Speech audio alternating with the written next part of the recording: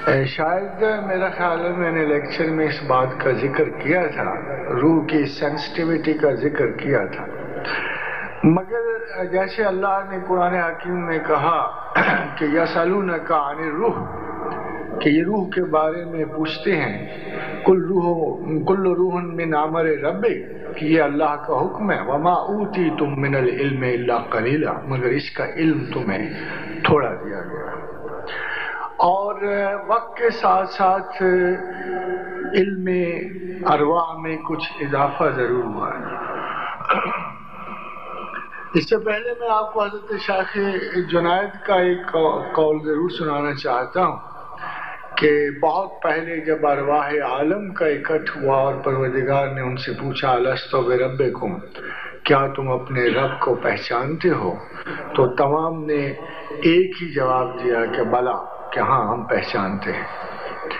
असल में रूह एक वो अंसर है अल्लाह ने जो इंसान के बदन में रखा कि जो अक्ल और शूर और दानिश की बुनियाद पर एक हर सूरत वो साहिब ईमान होती है। रूह हर सूरत ईमान वाली होती है ता आके उस पे हमारे ज़ाती जबिली असरात इतने गालिब ना हो जाएँ कि उसका जो एतकाद और ईमान का अक्स है, वो धुंधला ना जाए। रूह के बारे में अगर आप मुझसे मेरी राय पूछते हैं जाती तो वो मैं ज़रूर आपको बता दूँ।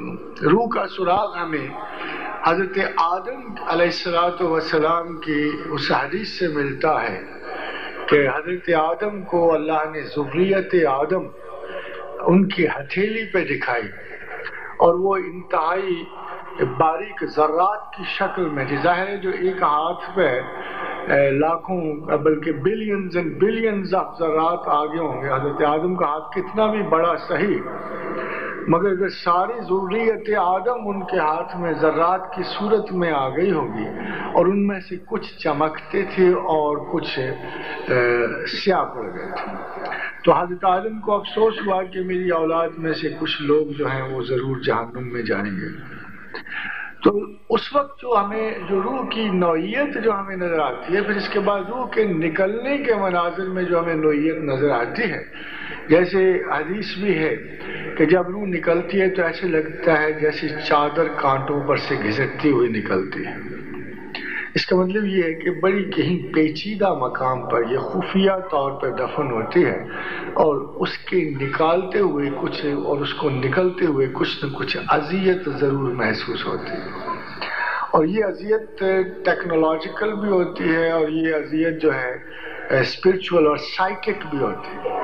यानी जहनी और नफसी एतबार से भी होती है और बदनी एतबार से भी होती है। यही जब इंसान अपने इसी रूह के अमाल के तौर पर जब क़यामत के दिन जाता है तो परवरदिगार फरमाते हैं, वही ज़रा आदम की हदीस को सामने रखिएगा कि यौमा तस्वद वज़ू हूँ यौम तब यज वज़ू कि कुछ चेहरे चमकते होंगे और कुछ चेहरे जो हैं स्या पड़ गए होंगे। इन सारी बातों से जो एक बात बड़ी साफ़ सामने आती है कि रूह जो है, वो इंतहाई बारीक टेक्निकल चिप की सूरत में, इस पूरे बॉडी मैकेनिज्म में वो चिप जो अल्टीमेटली फाइनली प्रोग्राम्ड होता है। और उस प्रोग्रामिंग में जैसे डीएनए स्ट्रक्चर का अगर आपने थोड़ा सा पढ़ा जो इंसान का बुनियादी तख्लीकी स्ट्रक्चर है डीऑक्सीरिबोन न्यूक्लिक एसिड जो है, उसमें एक कोड भी मख्फी तौर पे इंसान की छुपी होती है। हत्या कि उसी डीएनए को एक्सप्लाइट करने से आजकल क्लोनिंग हो रही शक्ल सूरत हो शबाहत आदात हो खसाय ये तमाम के तमाम उस डीएनए स्ट्रक्चर में पोशीदा और खुफिया होते हैं। वो कोड जो है वो हर इंसान की, अगर आपके एक बाल यहाँ से उखाड़ लें और उसको भी इलेक्ट्रॉनिक चार्जेस के ज़रिए तो उसमें से भी बिल्कुल आपकी तरह का इंसान एक पैदा हो सकता है। किसी सिंगल ह्यूमन इंडिविजुअल सेल से वो तमाम का तमाम दूसरा इंसान पैदा कर रहे हैं। ये बेसिक स्ट्रक्चर जो है, या, ये बुनियादी जो शायद अल्लाह ताला इंसान में रखता है ये इंतहाई बारीक जर्रे की सूरत में जब रूह निकलती है तो किसी, अगर आपने दूसरी हदीस पे गौर किया तो वो भी इसी की तस्दीक करता है कि रूह निकलते हुए मलाइका जो है, उसके ऐमान की शक्ल में उसके सामने आते हैं और एक बारीक रुमाल पर उसकी रूह निकाली जाती है, जो कभी तो बहुत बदबूदार और कभी साफ़ शफाफ और मुनवर होती है। अमाल की नस्बत से। वो चिप जब एक्सट्रैक्ट किया जाता है तो ज़रूर इंसान को बेबना तकलीफ़ होती है, जब उसको बदन से जुदा किया जाता है। मगर नेकोकारों में और बदकारों में उस रूह का अखराज और उस रूह का जो अमल है, वो इस सूरत में होता है कि परवरदिगार ने दुनिया सिजनुल मोमिन, कि दुनिया मोमिन के लिए कैद खाना है।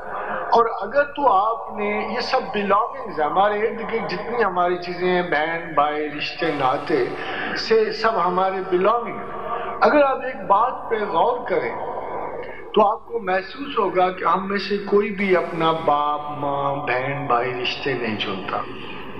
हम में से कोई भी किसी को भी पैदाइश के वक्त ये बिल्कुल पता नहीं होता कि वो किस घर में जा रहा है, कौन उसकी माँ है, कौन उसका बाप है, कौन उसका भाई होगा, कौन रिश्तेदार आयजा अकार अगर हमें चॉइस दिया जाए कि हम अपनी ज़िंदगी के कायदा और करीने के मुताबिक पैदा हों तो हजरात सारे आजकल बिल गेट के घर पैदा होंगे, जो दुनिया का रईस तरीन आदमी है, जिसकी 52 बिलियन जीएस की सालाना डॉलर्स की आमदन है।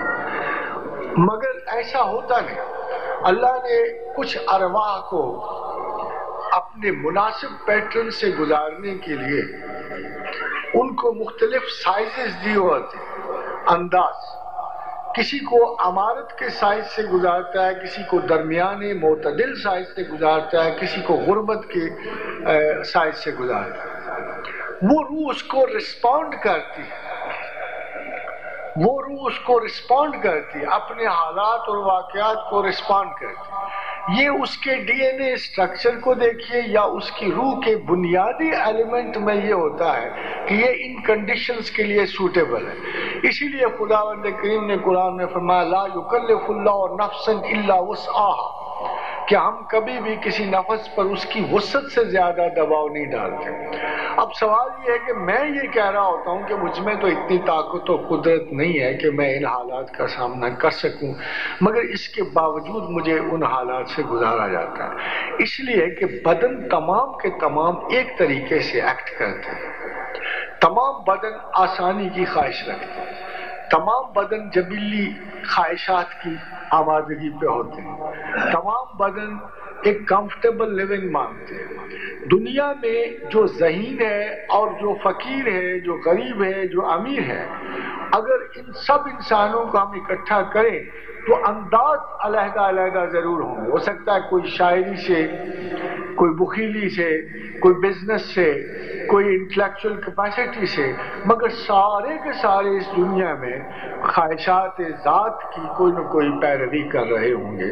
सवाए रूह के, कि जो अलहदा कोड पे कायम होती है और कभी न कभी ना आसुदगी का इजहार ज़रूर करती है। ये वो रूह है जो 40 बरस के बाद, क्योंकि 40 बरस को अल्लाह ताला ने कुरान हकीम में कहा कि अब वो ज़ोर की उम्र को पहुँचा। और 40 बरस के बाद ज़रूर वो रूह जो है अपने तासुरात, बेचैनी और इस तरह की शक्ल में इंसानों पे डालती है और बार बार उन्हें उस अहद कदीम से आशनाई देती है। जो अगर अगरचे लिखा तो नहीं गया, मगर चूँकि अल्लाह के हुजूर उस इकरार वफा की एक हैसियत मौजूद है क्या अलस्तो रब क्या तुम अपने रब को पहचानते हो? कालू बला। तो सवाए रूह के इस मैसेज को कोई भी याद नहीं रखती। और एक एक बिलियन ईयर बिलियन ईयर्स की वो टेक्स्ट जो है, उसमें मौजूद होती है। और वो उसे बार बार याद कराती है कुछ अर्सा गुजरने के बाद कि तू गलती पे है, या तेरे आसार गलत हैं, या तेरी मसरूफियात गलत हैं, और तूने वापस पलटना है, तू किसी गैलेक्शन लाइफ का है, तू ज़मीन पे एलियन है। तमाम हज़रत इंसान ज़मीन पर एलियंस और अजनबी हैं। इसलिए कि अल्लाह ने हमें कहीं भी यहाँ कोई मुस्तकिल दर्जा या रुतबा देने के लिए नहीं भेजा, बल्कि कुरान हकीम में फरमाया मुस्तकर व मता निलाहीन थोड़े देर के लिए तुम्हारा यहाँ करार है और थोड़ा सा यहाँ फ़ायदा है। फ़ायदा वही है जो एक ट्रेनिंग से गुजरने के बाद एक आर्मी ऑफिसर को ले सेकंड लेफ्टिनेंट की सूरत में मिलता है कि हर काम की अहलियत पाने के बाद जो एक दर्जा अहलियत को अचीव करना है, जो तरबियत अचीव करनी है, वही इस ज़मीन में फ़ायदा है कि अल्लाह ने हमें खलीफतुल्ला फिलर्ज व समावत का रुतबा देकर हमारी रूहों में ये दफन कर दिया कि तुमने इस दर्जे के लिए जिदोजहद करनी है और तुम इस ज़मीन पर जा रहे हो बदन को उसकी मुखालफत पे आमादा किया और ये मुखालफत उस किस्म की है कि जब परवरदिगार हदीस रसूल है सल्लल्लाहु अलैहि वसल्लम, कि जब अल्लाह ने जन्नत बनाई तो जबील अमी को कहा कि तू ज़रा देखा कि मेरी जन्नत कैसी है। तो जबील अमी जब जन्नत को देख के आए तो कहने लगे, परवरदिगार, मैं तो हैरान और शिशर हूँ। कौन ऐसा शख्स है जो इस जन्नत की आरज़ू ना करेगा? और इसके लिए जिद्दोजहद ना करेगा। फिर अल्लाह ने कहा अच्छा अब तू मेरी जहनुम देख फिर वो जहनुम देख के आया और कहा, है परवरदिगार, मैं के खौफ से लड़सा और तरसा कौन ऐसा शख्स है जो तेरी जहनुम से डरेगा? फिर अल्लाह ने जन्नत को मकरूहत से ढांप दिया और कहा, जी जरा फिर देख के आ।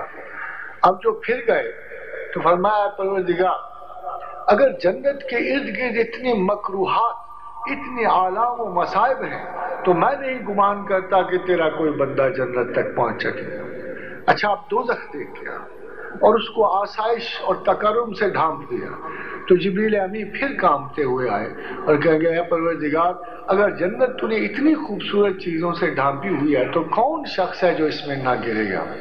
तो नतीजा ये हुआ कि जिब्रील अभी पुकारे क्या परवरदिगार, लगता यही है कि तेरी तौफीक और इजाज़त से और तेरी मोहब्बत के बगैर कोई इन आलाम मसाइब से ज़िंदा नहीं गुजर सके। तो हज़रत ग्रामी रूह वो अंसर है इंसान जो बुनियादी तौर पे खुदा से जुदा हुई जिसका ताल्लुक जन्नत व दोजख से पहले का है। जैसे ख्वाजा बहर अली ने अपने एक मिसरे में कहा कि कुन फयाकून ते कल दी गल असा अगे दी प्रीत लगाई। और ये वो बुनियादी अंसर है जो इंसान को बनाते हुए जब अल्लाह ने इसका बुनियादी कैसे तैयार किया और बुनियादी जीन तैयार किया और बुनियादी इसका जरसूमा रखा और वो स्ट्रक्चर रखा और फिर उसके खून के एक एक जर्रे में उसे रवादार किया। और हजूर की हदीस के मुताबिक ये हमारी रीढ़ की हड्डी से दोबारा ये उठाया जाएगा। और स्ट्रेंजली इनफ अब भी जो लोग पाँच हज़ार साल का पहले का फॉसिल जो उन्होंने रीलिव किया है, इसमें स्कैंडिनेविया में और रशिया में उन्होंने सात हज़ार साल पहले से फॉसिल से जीन लेके रीएक्टिवेट किया है। और उससे उन्होंने मखलूक बनाई है। इनफैक्ट वो भी हमें यही बात बताती है कि सबसे कदीम चीज़ जो इंसान में है अनमिट ना मरने वाली, लाजवाब, रूह इंसान अबदी नहीं हमेशा से ये मौज अजली नहीं है, हमेशा से मौजूद नहीं है, मगर अबदी ज़रूर है, ये कभी भी खत्म नहीं होगी। अगर रूह मरने वाली होती तो फिर जन्नत और दोजख के इजाब मुस्तकिल ना होते। एक सवाब मुस्तकिल ना होता, एक अजाब मुस्तकिल रहा जिस्म का सवाल तो जैसे अल्लाह के रसूल ने फरमाया अब दुनिया सिजनल मोमिन कि ये मोमिन का कैद खाना है। उसी रूह के लिए ये सर्टन लॉज ऐसे प्रोवाइड करता है कि जो इसको कैद करके इस दुनिया में रखते हैं। जब इस जिस्म से आप आज़ाद हो जाए, और रूह के बारे में जैसे कुरान ये कहता है यौमा तस्वद वजूह, यौमा तब यजो वजूह, उसी पे आजाब कब्र। अगरचे वो वजूद मिट जाएगा, मगर चूँकि उसकी पूरी शनाख्त और आगही मुकम्मल हो चुकी है, जैसे कोई इलेक्ट्रॉनिक पुर्जा गर्द से बार बार के इस्तेमाल से, या जैसे कार के उस पे पिस्टन पे कोई गर्द आ जाए काली रेत आ जाए, पेट्रोल के रीजे आ जाए तो वो काम करना छोड़ छोड़ देता है। इसी तरह इंसान के दिल पे सात रिसेप्टिकल्स हैं। और ये सात रिसेप्टिकल जो सिग्नल भेजते हैं जहन इंसान जहन कंप्यूटर की तरह है, इसका असल मोटिव जो है वो इंसान का दिल है, और ये रिसेप्टर्स जो हैं, खून के ज़रिए या दूसरी चीज़ों के ज़रिए इमोशंस के ज़रिए अपने दिल से आगही पाते हैं। और हज़रत ग्रामी, ये कॉन्सेप्ट खासा गलत हो चुका है कि जहन सोचता है। जहन से पहले दिल सोचता है। बल्कि साल्स एक्सपेरिमेंट में, जो बड़े मशहूर एक्सपेरिमेंट में, इसी कल्बी कैफियात पे उन्होंने वर्ड्सवर्थ के एक मिसरे पर रिसर्च शुरू की कि my heart leaps up when I behold rainbow in the sky कि क्या कोई बंदा जहनन ये कह सकता है कि जब मैं कौसे कदा देखता हूँ तो मेरा दिल मेरी मेरी पसलियों में मोहब्बत से उछल पड़ता है इस रंग में। तो उसने कहा हाँ ये ठीक है, क्योंकि दिल में ख्याल ब्लाइंड सूरत में आधे सेकंड में पैदा होकर दिमाग तक पहुँचता है। दिमाग कंप्यूटर की तरह उसे शक्ल शुबात लफ्ज सब कुछ मुहैया करता है और बेसिक मोटिव्स को फिर वो एक फ़िक्र में डाल देता है। इसलिए हज़रत ग्रामी रूह और कल्ब का हमेशा से एक इज्तमाही ताल्लुक शुरू से सूफिया के पास रहा और उससे महज मुराद यही रही कि दिल की अगर रिसेप्टिव तारीख हो जाए तो ये रूह का रिस्पांस रिकॉर्ड करने से इनकार कर देते एक दिन में ये बात नहीं होती।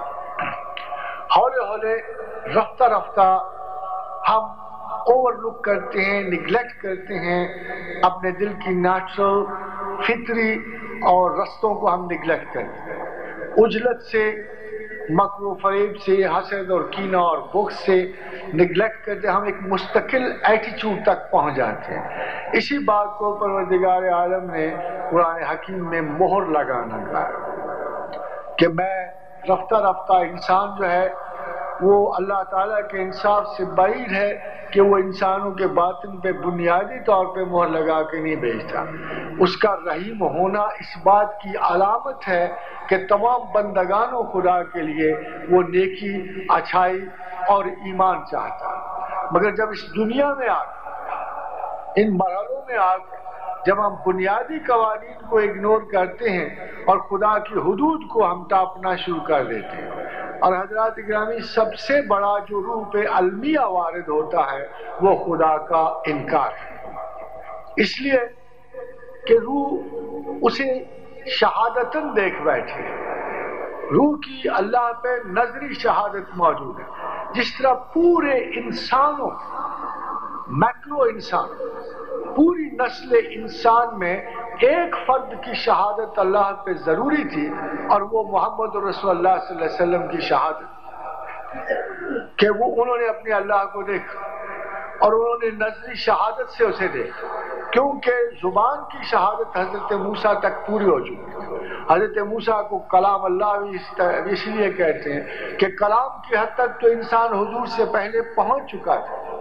जिब्राइल अमी की शहादत भी सैदना सलाम तक पहुँच चुकी थी। वायतुल्कुदस अब सिर्फ़ एक शहादत रहती थी, किसी इंसान की नजरी और बसरी शहादत की। वो अल्लाह ने मोहम्मद रसोल्ला को अदा की, ताकि हमेशा हमेशा के लिए खुदा के वजूद पे हर दलील मुकम्मल हो। जब एक इंसान अपनी ज़िंदगी में ईमान की स्ट्रगल शुरू करता है तो दरअसल वो भी बसरी शहादत के लिए तड़प रहा होता।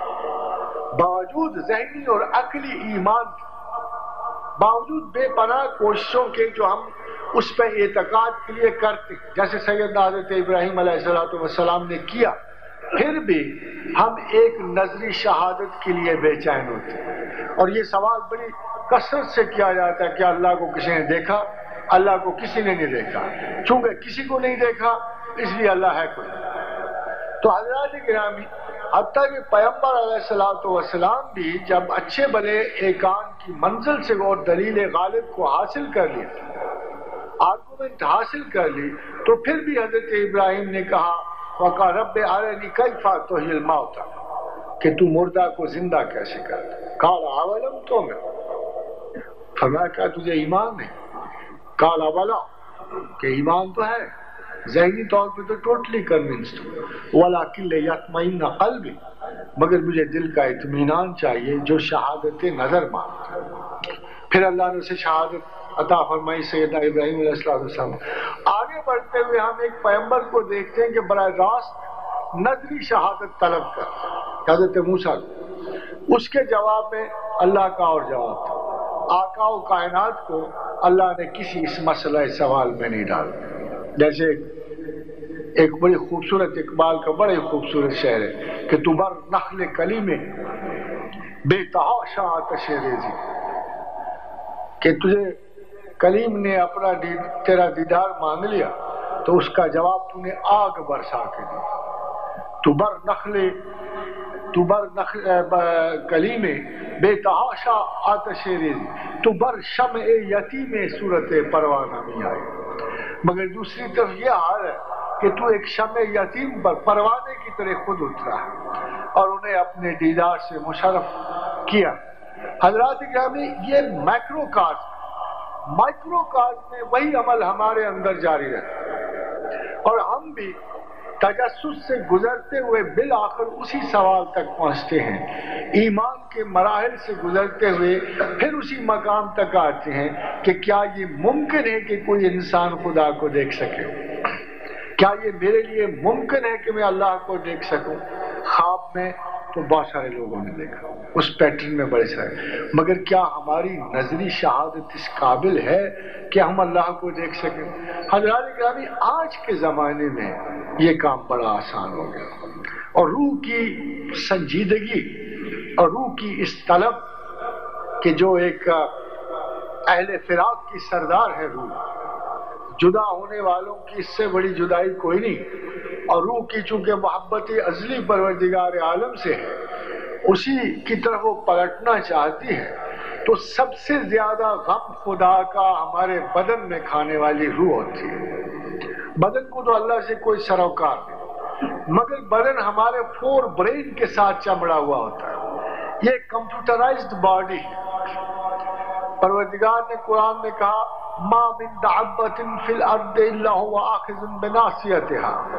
कि हमने कोई ज़मीन पे हयात वाला ऐसा नहीं है जिसे हमने उसके माथे से नहीं थामा हजरात ग्रामी बड़ी गहरी और खूबसूरत आयत है कि खुदा वंद करीम ने ये इर्शाद फरमाया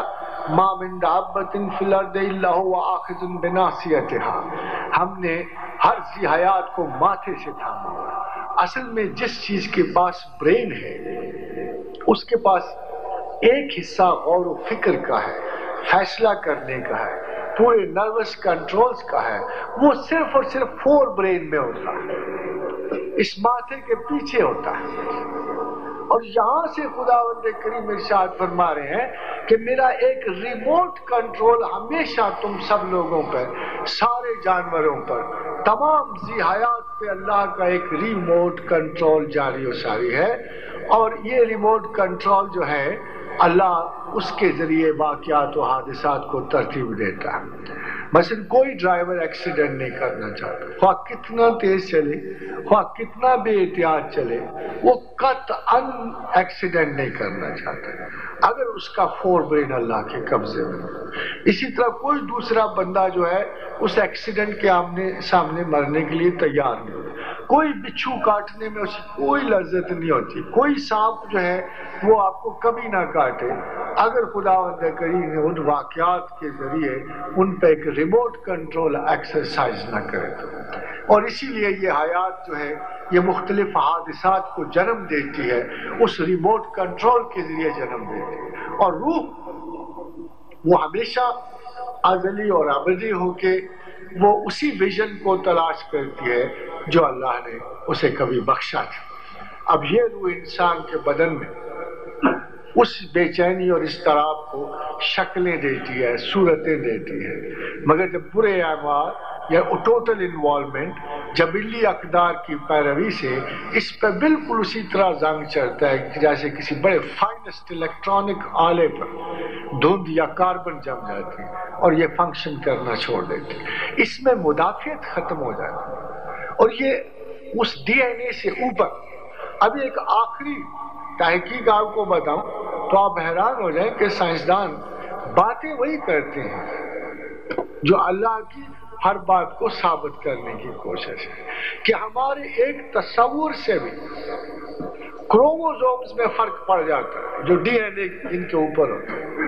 कि एक ख्याल अगर बदल जाए तो हमारे क्रोमोजोम जो डीएनए के तेईस या पच्चीस या सत्ताईस जितने भी क्रोमोजोम्स हैं, उनकी तरतीब में फ़र्क पड़ जाता है। यानी एक ख्याल से वहाँ असर चला जाता है। इसलिए जो भी इंसान गुनाह सवाब करता है, उसका असर बरह रास्त उन क्रोमोजोम्स पे जाके उस डीएनए स्ट्रक्चर पर पड़ रहा होता है। और डीएनए स्ट्रक्चर के अंदर भी अभी उसको इस तरह तो ब्रेकअप नहीं किया गया कि हम ये समझें कि इससे बारीक तर इंसानी बातन में कोई नहीं है। तो ऐन मुमकिन है। जैसे अल्लाह हदीस रसूल है कि इंसान तीन मरतबा की मौत पे कादिर होगा। तीन मरतबा मरने के बाद इंसान को ज़िंदगी दी जा सके। और हदीस ने हमें बताया, उससे ये ज़ाहिर होता है कि दज्जाल जो खुदाई का झूठा मुद्दाई है, वो ज़रूर इस काबिल हो जाएगा कि तीन मरतबा भी अगर कोई मरे तो उसकी मौत पे कादिर हो जाएगा।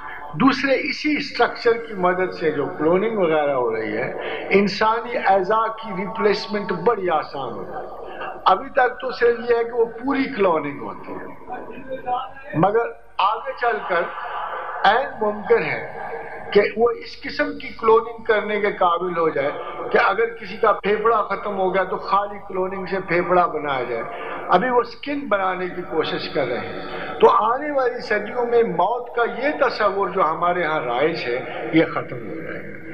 इसके, उसकी वजह ये है कि परवरदिगार ने मौत का ज़िक्र कर दिया। बहुत सारी बातें हम ऐड कर देते हैं। अल्लाह मियाँ ने कुरान में ये कहा कि क्या इन यहूदियों से पूछो कि ये अगर एक हज़ार साल तक जिएँगे तो क्या मरेंगे नहीं? तो अल्लाह ने तो मौत को एक ऐसी फाइनलिटी करार दिया है कि जो चाहे आप कितना अरसा भी ज़िंदा रहे, एक हज़ार साल हज़रत आदम सलाम की उम्र है। और कुरान में लिखी हुई नौ सौ सैंतीस बरस तो हज़रत नू की भी आई है तो इसका मतलब यह है कि अगर इंसान ऐसी स्ट्रगल करता है, जिद्दोजहद करता है तो उससे बेतकानी और बेयकीनी लाजम नहीं आती। हम अपनी उम्र के गए गुजरे मायार को दोबारा हासिल कर लेंगे, मगर फिर वही जो अल्लाह बात कहता है, क्या तुम हज़ार साल तक जियोगे तो मरोगे नहीं? कि तुम्हें जीने की तो इजाज़त है। अब भी यूरोप की एवरेज एज हमसे 20-30 साल ज़्यादा है। अगर हालात और सरकमस्टांसेस वैसे कंडीशन कर दिए जाएँ तो यकीनी बात है कि यहाँ के भी हालात उस तरह हो जाएँ तो उनमें इंसान में इजाफा हो सकता है। मगर अल्लाह की बात वहाँ कायम है कि अगर तुम कितना अरसा भी जी लो, मैंने मौत को इस अरसे में मुकर कर कि तुमने मरना ज़रूर है।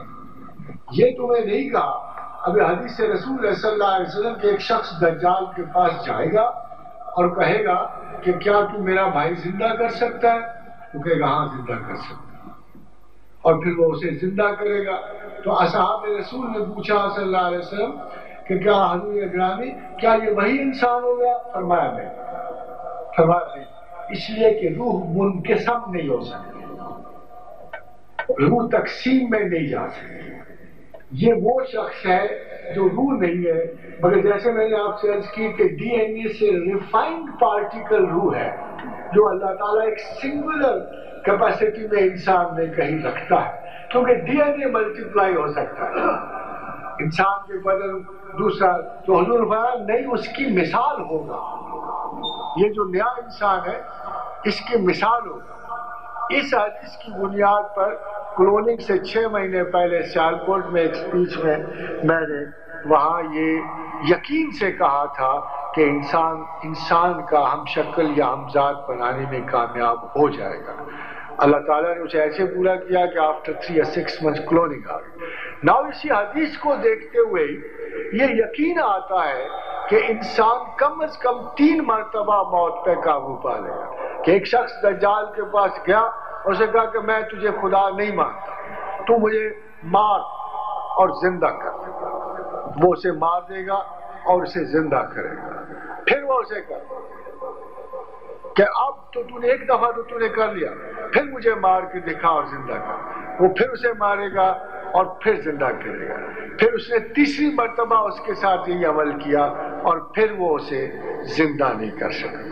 फिर उसे ज़िंदा नहीं कर। इट मीन्स कि अभी जो अभी इन्होंने लाइफ जेनेटिक्स की रिसर्च की है, डेढ़ सौ, पौने दो सौ बरस का एक जीन डिस्कवर कर लिया। अगर आप गौर करें तो इंसानी बॉडी में साइंसदान वो जीन तलाश करने की कोशिश करते हैं डिके नहीं होता। रूह के अलावा। जो डिके नहीं होता, जो मरता नहीं। हमारे इल्म में जो वाहिद चीज़ इंसान के बदन में नहीं मरती है, वो रूह है। मगर क्या आंदा आने वाले वक्तों में इंसान या जेनेटिक इंजीनियरिंग उस जीन तक पहुँच जाएँगे जो इटर्नल है? एंड मुमकिन है हमारे बिलियंस ऑफ़ जीन्स जो है, उनमें एक जीन ऐसा हो। अब देखिए ना, आप एक सेल को निकालना कितना मुश्किल है बॉडी से। फिर उस सेल में हज़ारों सेल होंगे तो उनमें से निकालना। फिर हमारे क्रोमोसोम्स के डीएनए से, फिर उसके बाद ये पूरे मिलियंस ऑफ़ जीन्स दस या बारह लाख जीन्स में से एक जीन को ढूंढ ढांड कर फरिश्ते पता नहीं किस ऑपरेशन से निकालते होंगे। एक इनविजिबल प्रोसेस से। तो यकीनन वो इटर्नल जीन जो हमारे अंदर मौजूद है, जो रूही, रूह कहलाता है, जो इटर्नल है, उसका निकालना बड़ा दुश्वार होता है और वो कभी नहीं मरता। हो सकता है अगर साइंसदान उस तक कभी पहुँचता है तो मेरा ख्याल ये है कि वो फिर पक्का दावा खुदाई में चला जाएगा।